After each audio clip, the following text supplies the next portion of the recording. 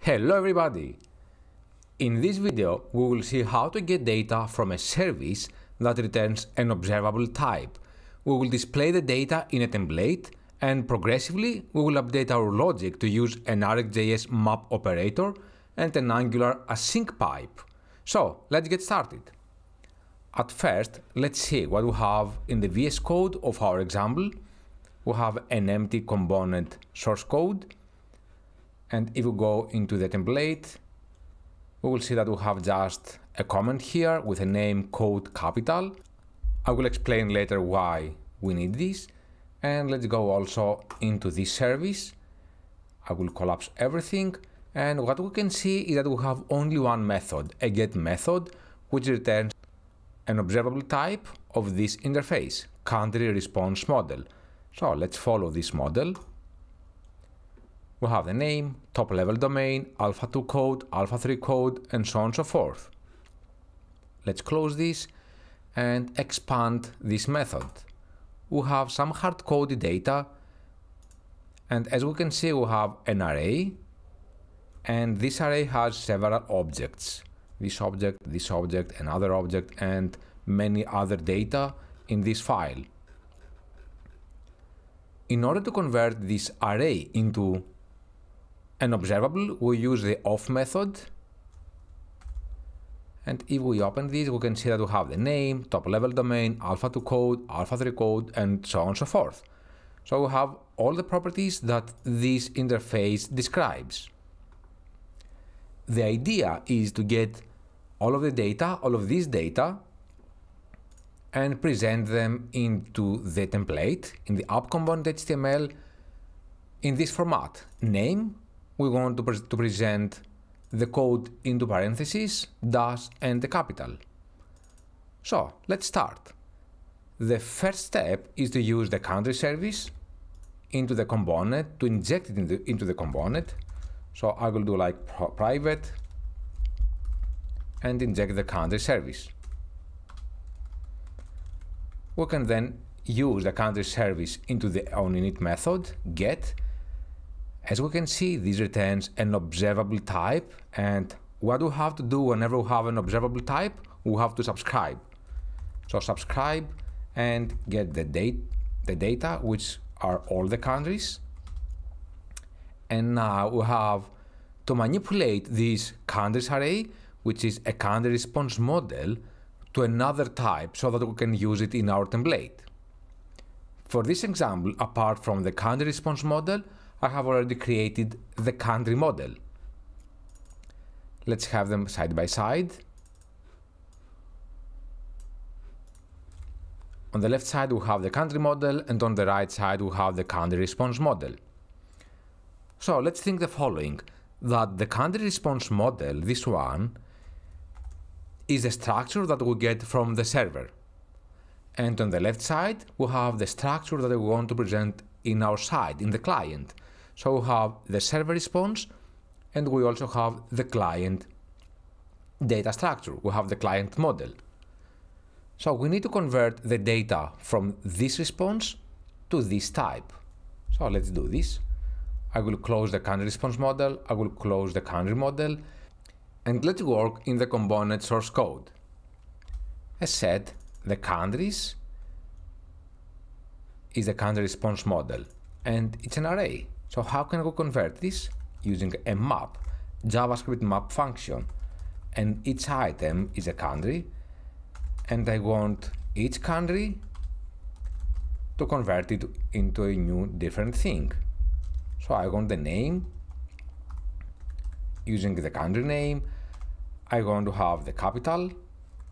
And for the capital, I will use the country capital and also I need to have the code, but this time I have to decide which code. We have the alpha2 code and alpha3 code. Let's go with alpha2 code.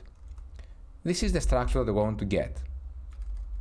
And of course, we want to present this array, the new array, we want to present it into the template. To do so, I will create here the countries, of country model array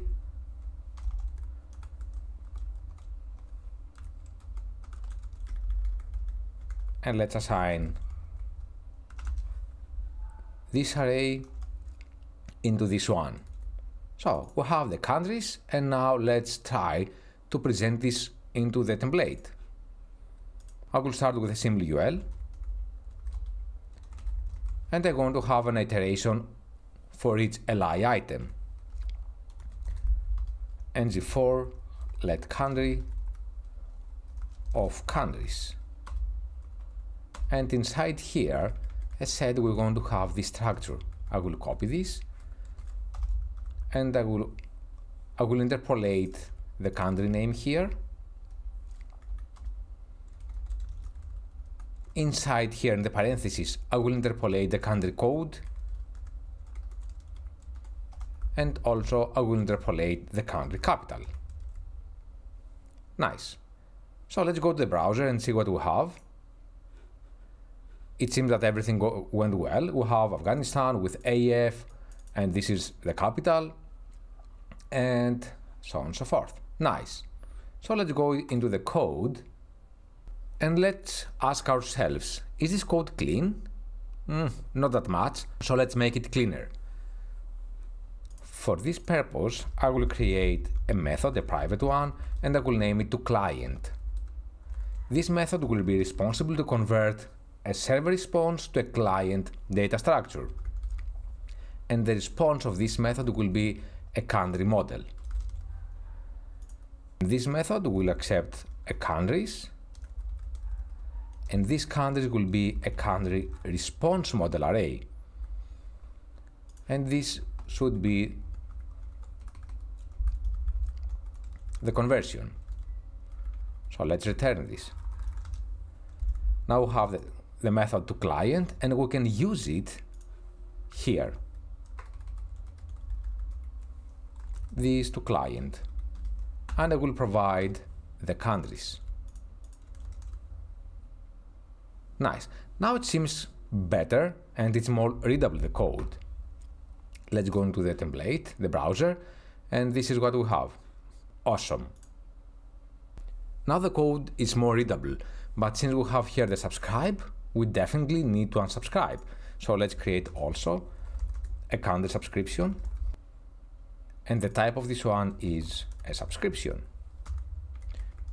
And of course we have to use the onDestroy hook, implement it. Let's move it here. And in this place, we will unsubscribe. This country subscription, unsubscribe. Nice. Again, let's go to the browser. Everything works well. If we check the code, we will see that now it's okay. It's safe, we have the unsubscribe, but it's not that much elegant. So we have too much code into the component and we don't like it that much. So if, if this component requires to present more data, we need to have more code here and the code will become flaky and hard to maintain. Let's refactor this code and what we're going to do is to use a map operator, a map RxJS operator. I will delete this one and we don't need to have the subscription, we don't need to have the onDestroy and definitely we don't need to have this nor the onDestroy hook. And what we have to do is to use the pipe and then the map, which is an RxJS operator. And the argument of this map function will be the countries. And we have to return now the country model, like we have here to client. So let's use it. Let's reuse this method. This to client, and I will provide these countries.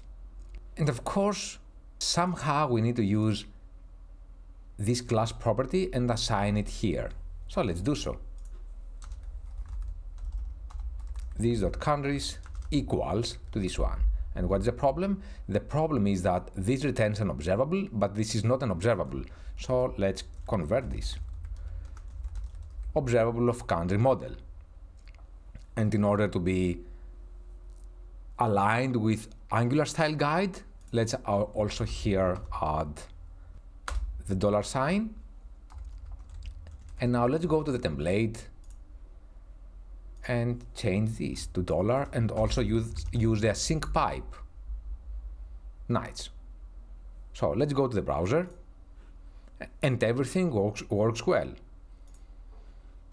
Let's go to the source code and as we can see, we don't have the on destroy hook, we don't have the subscription nor the unsubscription.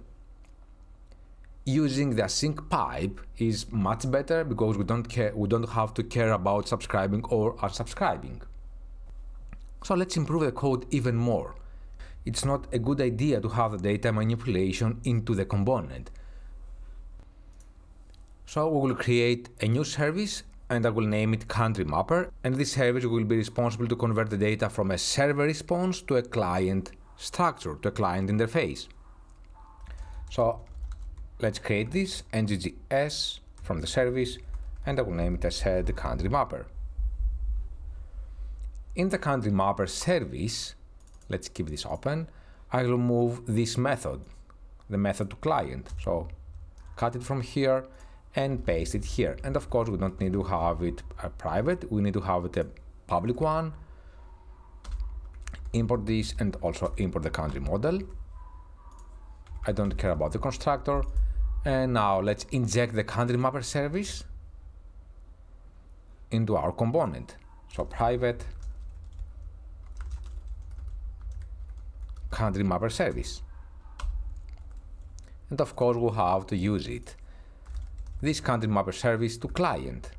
Nice. So let's go to the browser and we can see that everything works fine. Now in terms of clean code, it's, uh, it's cleaner, we have a single responsibility. Uh, each one, each service is responsible to do different thing.